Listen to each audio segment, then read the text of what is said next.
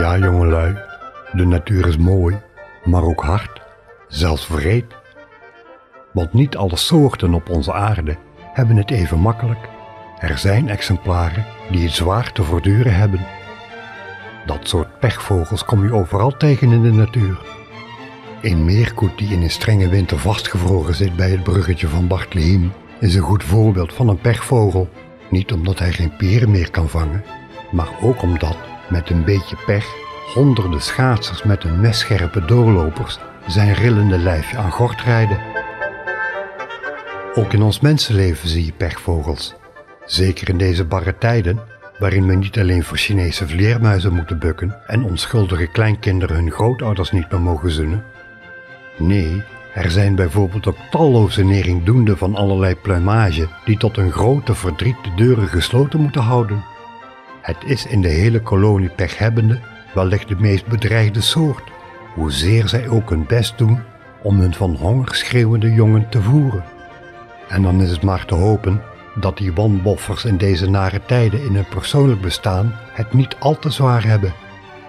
Maar ja, een man kan natuurlijk de pech hebben met een vrouw gehuwd te zijn die niet goed kan koken, nog proper is, laat staan dat zij zich in het echtelijke nest goed van haar taken kwijt.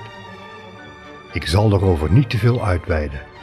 Wat daar in het echtelijke nest gebeurt, vraag dat maar eens aan je vader. Heel anders is het op het hoogste niveau van onze habitat. Daar tref je de zogenaamde geluksvogels.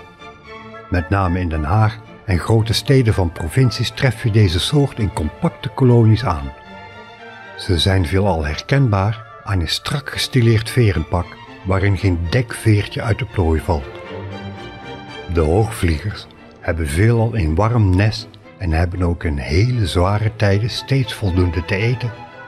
En zij doen wel alsof zij het belang van alle vogels dienen, maar in werkelijkheid doen zij enkel waar ze zelf het meest bij floreren en persoonlijk genot uitputten. Belangrijk kenmerk van deze soort is dat zij zelfs in zware tijden een soort lachende roep laten horen. Hun gezang lijkt een beetje op de roep van de groene specht, maar dan met een naargeestig, sardonisch randje. Maar er is een kentering gaande. In de niet afladende zucht van de hoogvliegers naar nog meer zelfverheerlijking en macht wordt de onderlinge strijd tussen hen steeds scherper, tot groot geluk van de andere gevederden, want de lust tot procreatie van die hoogvliegers is door hun begeerte en strijd veelal tot een nulpunt gereduceerd.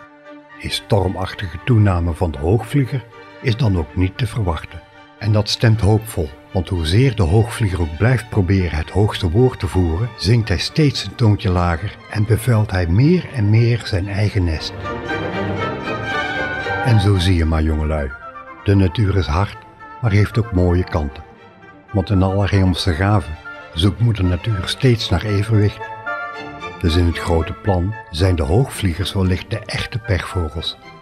Alleen zien zij dat nog niet. En dat is maar goed ook. Zo hebben zij rustig de kans de stembadden tot zwijgens toe te verlammen en het nest tot volkomen onbruikbaar te vervuilen, om daarna definitief uit te sterven. En dat noemt men dan natuurlijke selectie. Mooi hè?